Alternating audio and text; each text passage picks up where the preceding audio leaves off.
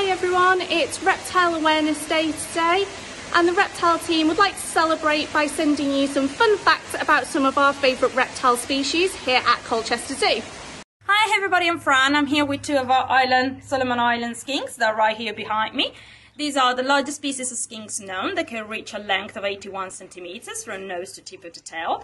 The tails are prehensile, and the female will carry the, the, developing babies in the belly, nourishing them with a placenta, unlike most reptiles. And after six to eight months, they will give birth to one lizard. This is Talibo. He's one of our two male Komodo dragons here at Colchester Zoo.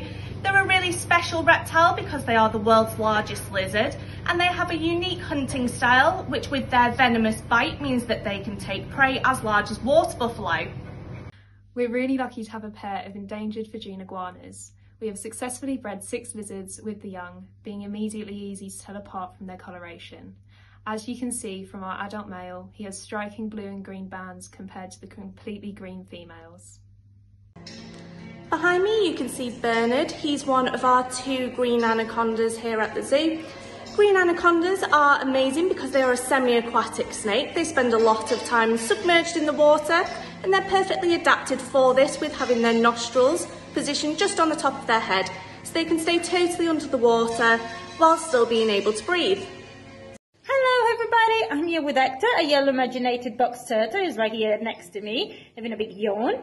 Many people think this is a baby because it's so tiny, but this is actually his adult size. Yellow marginated box turtles will hibernate during winter, so Hector likes to dig a little hole for himself when it gets too cold, and every five or six days it will pop his head out to ask for food. Behind me we have Caroline, who's our slender-snouted crocodile.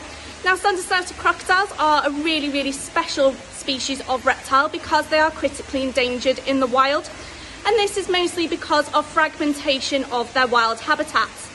She has her snout pointing out through uh, a leaf at the moment, thinking that she's really well camouflaged. But these snouts are really specialised, meaning that she can hunt for small fish in really murky waters.